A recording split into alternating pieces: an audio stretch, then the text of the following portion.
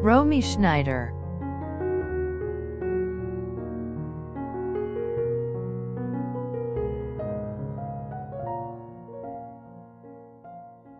Romy Schneider, born Rosemarie Magdalena Albach, September 23, 1938 to May 29, 1982, was a German-French actress. She began her career in the German Heimat film genre in the early 1950s when she was 15. From 1955 to 1957, she played the central character of Empress Elisabeth of Austria in the Austrian Sissi trilogy, and later reprised the role in a more mature version in Visconti's Ludwig, 1973.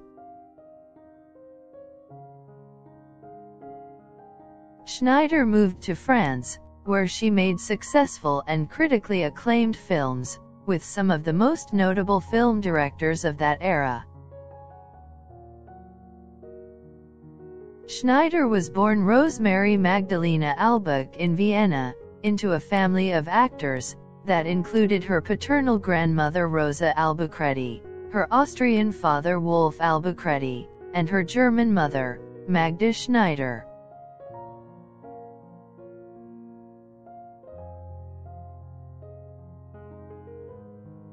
Her parents were very rarely present, due to their acting engagements. In 1943, they separated, and were divorced in 1945.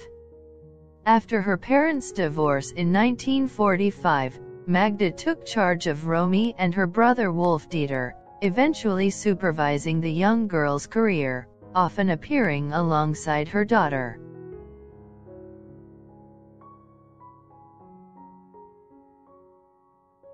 Schneider married German director and actor Harry Meyen in July 1966, after she ended her relationship with Delon.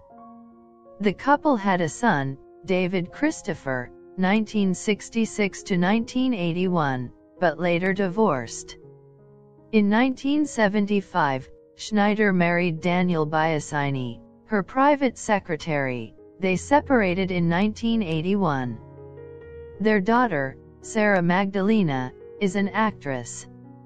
In July 1981, Schneider's son David died at the age of 14 after attempting to climb the spiked fence at his stepfather's parents' home and puncturing his femoral artery in the process. Schneider began drinking alcohol excessively after his death. However, Schneider's friend, Claude Pétin, said that Schneider no longer drank at the time of her death. Schneider was found dead in her Paris apartment on May 29, 1982. The examining magistrate Laurent Davenas declared that she died from cardiac arrest. Pétin said that Schneider's cardiac arrest was due to a weakened heart, caused by a kidney operation she had had months before.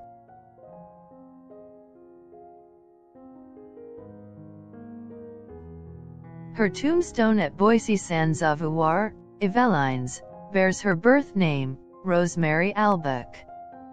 Funeral guests were her brother Wolf Dieter, Gerard Depardieu, Jean-Claude Brialy, Michel Piccoli, Claude Sautet, Claude Lelouch, Jean Rochefort, former husband Daniel Biasini and Laurent Pétin.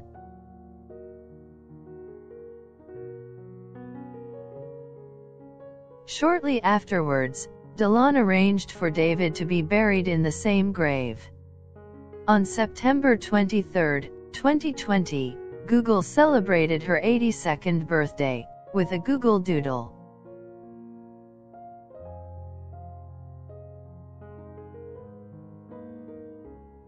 Thanks for watching. Subscribe to Footprints for more videos.